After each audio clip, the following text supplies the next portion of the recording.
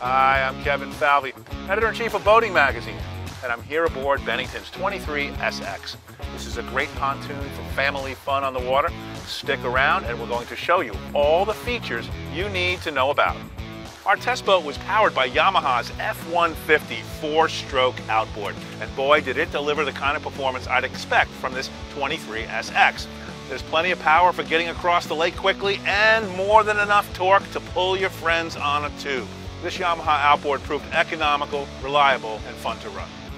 Bennington SX line pontoons are available in a variety of floor plans. Our test boat featured the quad bench layout, which maximizes the storage, lounging, and seating capacity.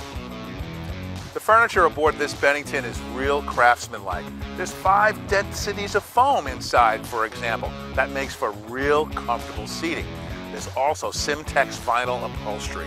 It's easy to clean, it's cool to the touch, and very easy to own. Looking more closely, we see that there's a toe kick, a recess for your feet built in under the seat bases, making it much more convenient to walk up to the side of the storage and access the storage inside the seat. And when you do pull up the seat cushion to access the storage, I'll direct your attention to the gutter that rings the cutout. Not only is there a gutter to direct rainwater away, but there's drains in the gutter so the gutters don't overflow. All of this helps to keep your stowed gear dry. Here's a neat feature. Open a boarding gate and it stays where you put it. Bennington's construction includes their exclusive through bolt method. They don't use screws and that's a plus. They also use thicker cross channel which provide more vertical strength and extruded M brackets which minimize twist. All in all, these are durably built pontoon boats.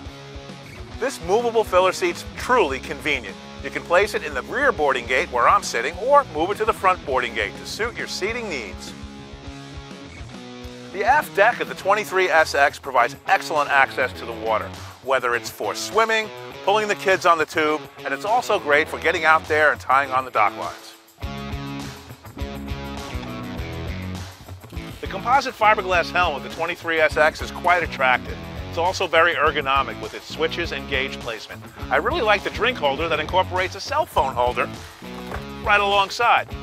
Until next time, I'm Kevin Falvey. And to learn more about this Bennington pontoon, visit boatingmag.com.